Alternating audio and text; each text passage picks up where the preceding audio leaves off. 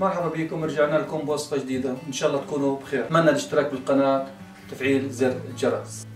يلا بينا. سميد ناعم 2 كوب 370 جرام دقيق واحد كوب 150 جرام بيكنج باودر نص معلقة صغيرة. خميرة معلقة صغيرة. ملح نص معلقة صغيرة. فانيلا معلقة صغيرة. حلبة معلقة معلقة طعام كبيرة. عشرة إلى خمسة عشر جرام. يجب طحنها جيد. هذه هي بعد الطحن. نضعها مع الخليط. ونخلط مكونات جيد حتى تنسجم. بعدين وضع زيت نباتي أو زبدة أو سمنة حسب ما انتو حابين. أي نوع دهون متوفر عندكم. خلط المكونات جيد.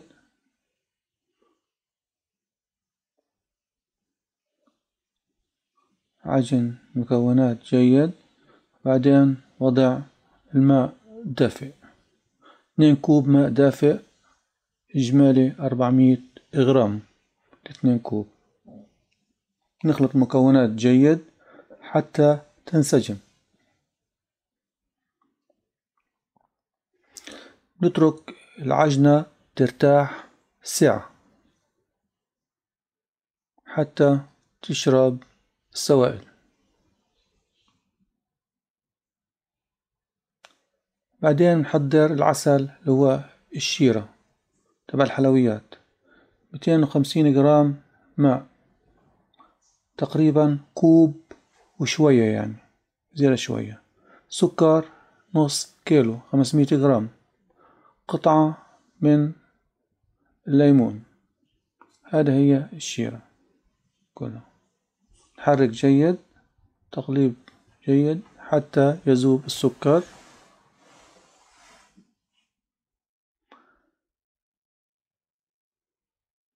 نوضع قطعة الليمون عند الغليان. انتظر انتظر 8 دقائق عند الغليان. بعد 8 دقائق بالضبط اغلق الموقد وهيك بتكون جاهزة. وضع وضع الطحينة على الصينية. أو زيت نباتي أو زبدة أو سمنة. أي نوع دهون على الوعاء نسكب العجنة وبنفردها. نفردها جيد تكون متساوية.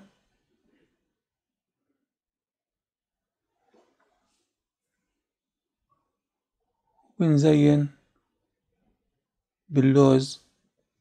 أو بالفستق أو أي نوع من المكسرات. بنسخن الفرن من من فوق ومن تحت في الرف الأوسط. 200 درجة مئوية أو حسب نوع الفرن يعني حتى تنضج يعني. يعني لازم تراقبوها يعني. ممكن ربع ساعة ممكن أقل ممكن أكتر تاخد هذا هي شكلها النهائي. بنقطعها مثل ما إحنا بنحب. مثلث مربع مثل ما بنحب. وبنوضع العسل يكون يجب يكون بارد العسل. والشيرة تكون باردة. والحلبة صينية الكعكة تكون ساخنة. وبنوضع كل العسل. كل العسل اللي عملناه بنوضعه عليها لأنه حتشرب يعني حتشرب كل العسل. وصحة وألف عافية. وهذه الطريقة الفلسطينية الحلبة الفلسطينية. وبالجزائر بيقولوا عنها قلب اللوز. بس طريقة الجزائر تختلف عن الطريقة الفلسطينية. وصحة وألف عافية.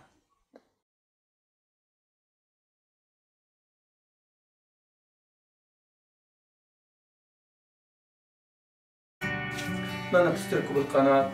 شكرا كتير لكم. مع السلامة.